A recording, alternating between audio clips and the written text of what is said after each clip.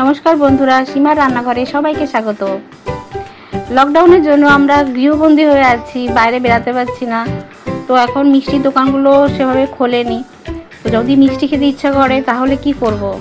তাহলে আমরা বাড়িতেই বানিয়ে ফেলব একটা ঝটপট রেসিপি কালাকান্দ যেটা খেতেও খুব সুন্দর আর খুব তাড়াতাড়ি হয়ে যাবে।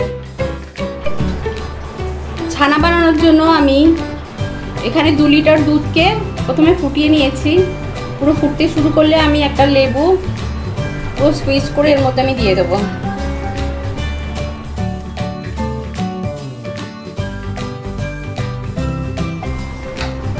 ছানাটা এবার আমি একদম পুরো হয়ে গেছে, পুরো কেটে গেছে। আমি পুরো ছানাটা একটা ছাঁকনি দিয়ে ছেঁকে নেব। লেবু বাড়িতে না থাকলে সাইট্রিক অ্যাসিড বা ক্যালসিয়াম ল্যাকটেট দিয়েও এক চামচ দিয়ে দিলে ও কেটে যাবে।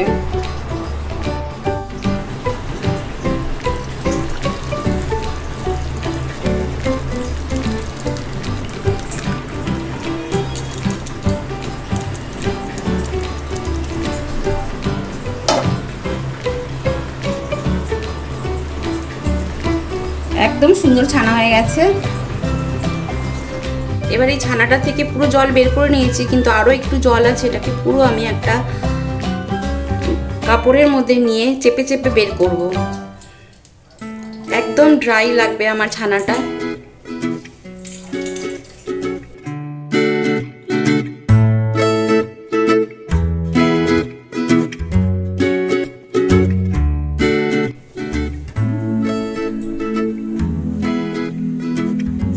বাজারের কেনা ছানা থেকে বা কেনা পনিরের প্যাকেট থেকেও ছানাটা নিয়েও করা যেতে পারে। আর দুধ থাকলে বাড়িতে এরকম করে ছানাটা কেটে নিয়ে পুরো জলটা একদম শুকনো করে বের করে দিতে হবে। জল থাকলে কিন্তু হবে না। এরপরে এটাকে আমি খুব মিহিন করে ভালো করে ম্যাশ করে নেব হাত দিয়ে।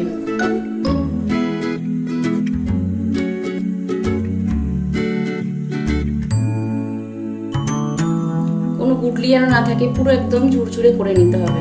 আর আমি এক লিটার দুধকে এখানে আমি গাঢ় করে রেখেছি, অনেকক্ষণ ফুটিয়ে অনেক গাঢ় করে রেখেছি। বা আপনারা মিল্ক মেড বাজারে যেটা পাওয়া যায় খুব গাঢ়, ওইটাও ইউজ করতে পারেন। আর রেখেছি এখানে আমি একশো গ্রাম গুঁড়ো দুধ, হাফ কাপ চিনি, অল্প একটু বাদাম কুচি আর এলাচ গুঁড়ো। খুব তাড়াতাড়ি আমরা বানিয়ে ফেলব, খুব টেস্টি একটা মিষ্টি। এই জন্য আমরা একটা পাত্রে আমি ছানাটাকে প্রথমে নিয়ে নেব।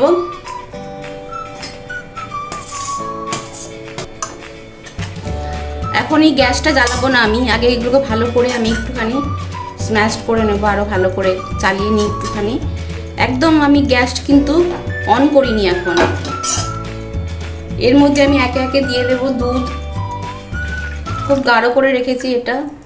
না হলে যদি এখন পাতলা দুধ দিয়ে করা যায় অনেক টাইম লাগবে, এটা আমি তাড়াতাড়ি কী করে করা যায় সেই জন্যই আমি দুধটাকে গাঢ় করে নিয়েছি।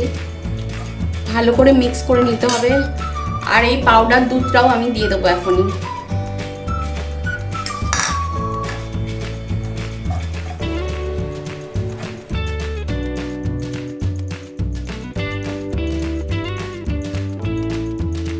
খুব ভালো করে মেশানো হয়ে গেছে, এবার আমি আঁচটা জ্বালিয়ে দেব।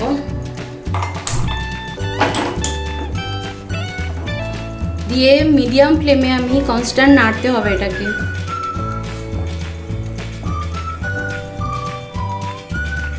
আমি ট্রেটার মধ্যে পুরোটা দিয়ে দেব। এটা পুরোটার মধ্যে সমান করে আমি সেট করে দেব। চেপে চেপে পুরো ভালো করে একদম ফ্ল্যাট করে দেবো উপরটা।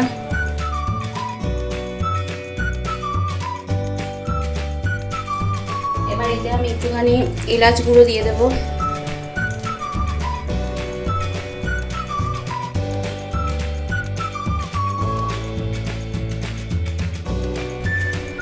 কিছু বাদাম দিয়ে দিলাম আমি।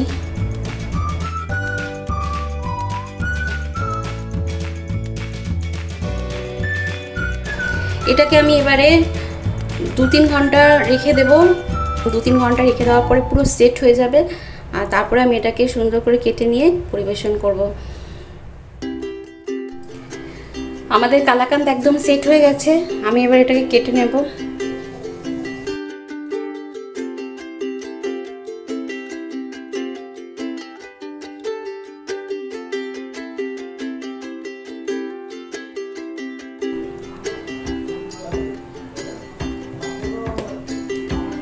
আমাদের কালাকান্দ একদম রেডি দেখুন বন্ধুরা, কত সুন্দর হয়েছে।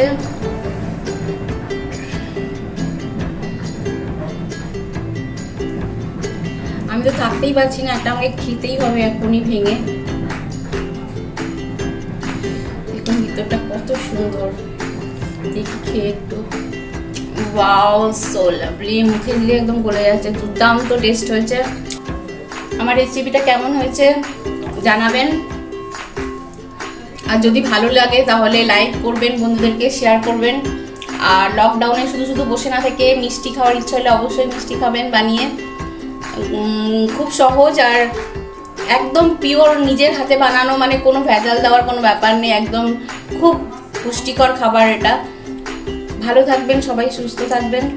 আর আমার নিত্য নতুন আপডেটস পেতে, নিত্য নতুন নতুন রেসিপি পেতে আমার চ্যানেলটাকে সাবস্ক্রাইব করুন আর বেল আইকনটা প্রেস করুন, যাতে যখনই কোনো পোস্ট করব তখনই আপনার কাছে পৌঁছায়।